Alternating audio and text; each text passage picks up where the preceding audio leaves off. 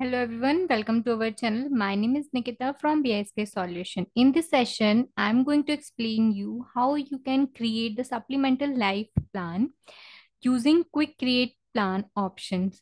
So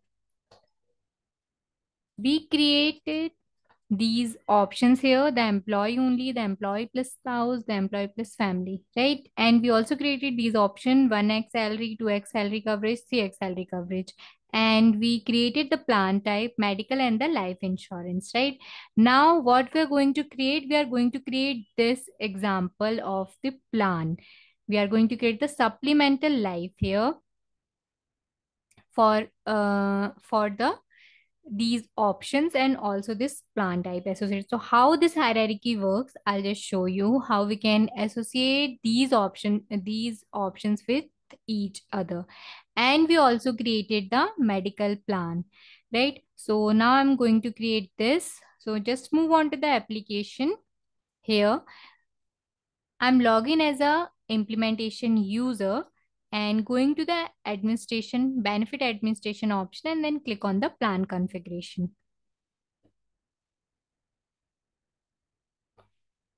Click on the sub tab plan and here just click on the quick create plan option. Here fill the name. First you have to change the session effective date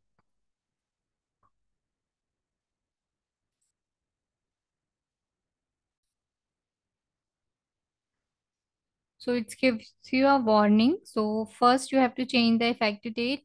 Otherwise you may lose your data. So make sure you change the effective date at first. Now you have to give the plan name.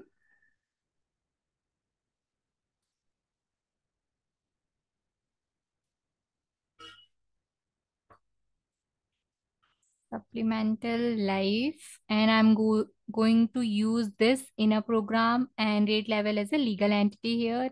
Here I'm going to select the plan type, the life insurance and legal entity for this plan is a US legal entity.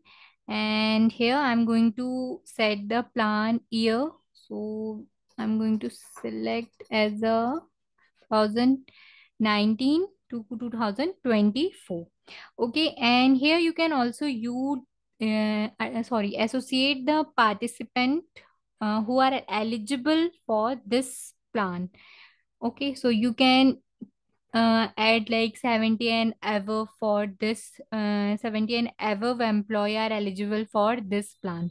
So you can just select this and just click on this arrow. Okay and here we can add the options. So I just click on the create and here you can see these options here because these are associated with this plan type. That's why we are able to see here and I'm going to add another one.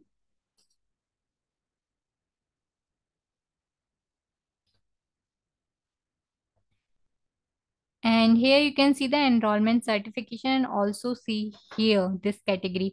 Why there is a two field for one information because if you don't want use this option, if you don't want use the options field here, you can fill the information here also. And same for the plan coverage amount. If you don't want option to use under your plan, so you can fill these information here. Okay, then just click on the save option. Now it's caused the processing and it's completed. This is the summary page of your plan. So this is how we can create the plan using quick create plan options. Okay. If we search here, here you can see all the defined plan the saving the medical the health insurance the life insurance okay then here you can see the validate option right but these validate option are appear who are used in the uh, not in a program uses right? Under the inner inner program uses there is a no validate option. So if i just select any one of them here what we have to do we have to just click on the validate option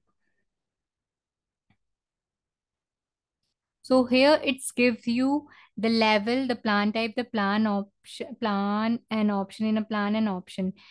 It's validate all the information here. Okay so uh, some rules are not validated here also. So if you have any other options attached with this plan you can also see here.